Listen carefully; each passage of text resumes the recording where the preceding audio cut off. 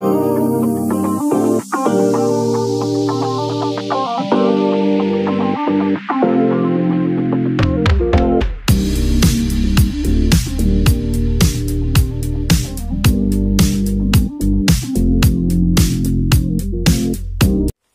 sobat semua, kali ini kita akan memodifikasi tenda Hayu kapasitas 4 orang yang awalnya dia tenda single layer menjadi tenda double layer. Nanti ada beberapa bagian yang harus kalian ganti. Ya, mulai dari e, centelan, kemudian kaki-kaki lubang depan. Nah, nanti saya akan tunjukkan videonya satu persatu. Oke, yang pertama kita akan bahas dulu di bagian eh, tempat lubang untuk frame.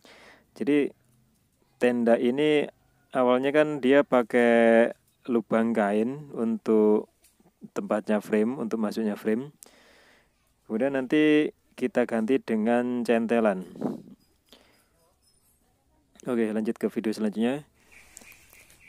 Ini untuk bagian depan uh, untuk kakinya itu kan kalau bawahnya cuma dua lubang kita ganti menjadi tiga lubang supaya gampang untuk masukkan frame depan frame tengah dan pasak oke sekarang kita akan coba uh, mulai merangkai.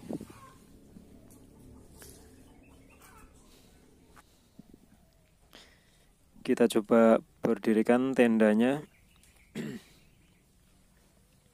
ini frame yang saya pakai masih frame bawaannya dengan ukuran 6,9 mm sebenarnya kurang recommended ya kalau kalian punya dana dan pingin ini kalian ganti aja dengan yang ukuran 7,9 atau 8,5 cuma nanti kalau 8,5 itu akan menjadi berat tendanya. Jadi kalau emang mau kalian bisa ganti yang ukuran 7,9 mm saja itu saya kira udah lumayan cukup kuat daripada yang 6,9 karena ini tendanya kapasitas 4 ya. Jadi biar kalau 7,9 itu nanti jatuhnya nggak terlalu berat-berat banget ya. Nah, ini kita udah mulai memasukkan centelannya. Kira-kira jadinya seperti ini. Ya. Nah, ini centelannya. Jadi kalian bisa beli di toko-toko online pilihan kalian ya. Ini menurut saya sih satu ukuran saja ya. Jadi kalau semua toko yang jual itu kayaknya cuma satu ukuran. Terus untuk jarak setiap centelan itu sekitar 40 cm jadi mulai dari paling bawah paling bawah eh, kemudian ini isinya setiap sisi itu ada sekitar empat centelan ya. E, sebenarnya kalau dibikin lima bisa cuma ini e, saya ukur-ukur kayaknya pasnya empat cukup ya. Terus sekarang kita akan coba pasangkan double layernya.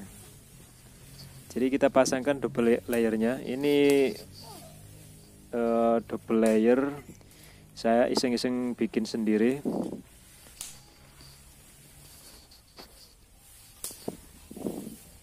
Ini kebetulan saya juga pilih warna oranye karena oranye itu kan kalau buat foto di malam hari itu lumayan terlihat ya.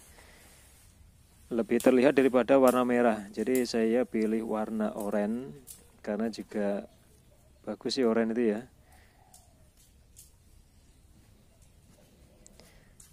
jadi nanti kalau sekilas tendanya ini mirip-mirip si oren ya. Sekarang kita akan coba pasangkan frame depan. Ini untuk frame depan kebetulan saya memakai frame ukuran 7,9 mm ini dengan panjang sekitar 52 cm dan totalnya itu sekitar ada 7 batang ya. Jadi untuk frame depan itu perlu kalian catat panjangnya sekitar 52 cm kemudian satu uh, jumlahnya itu sekitar 7 batang untuk frame depan tenda HYU ya. Oke, sekarang kita coba masukkan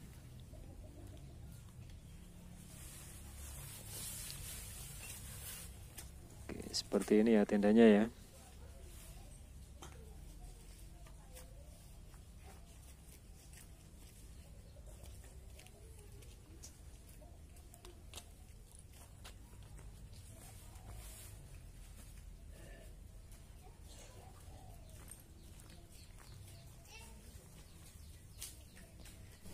Oke, setelah uh, jangan lupa pasak ya supaya tendanya lebih stabil ya.